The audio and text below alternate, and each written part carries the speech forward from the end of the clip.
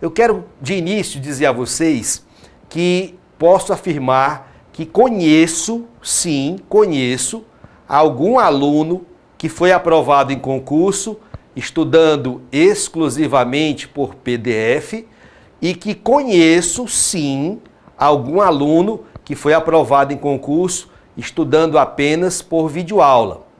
Mas não tenham dúvida nenhuma, esses casos raríssimos é, são a exceção das exceções. Ok, gente? São casos extremamente excepcionais. Contam-se nos dedos de uma mão as pessoas que, que foram, conseguiram lograr êxito e passar no concurso, estudando exclusivamente por material escrito ou estudando exclusivamente por videoaulas ou aulas presenciais.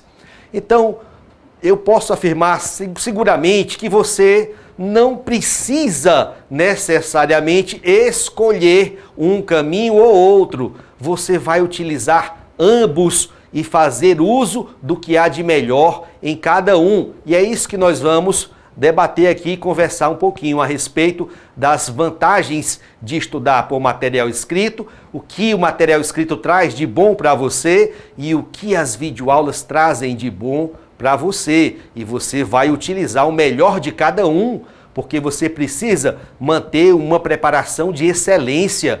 E preparação de excelência é, faz essa exigência de você. Você deve sim utilizar os melhores PDFs e deve sim, sem dúvidas, utilizar as melhores videoaulas.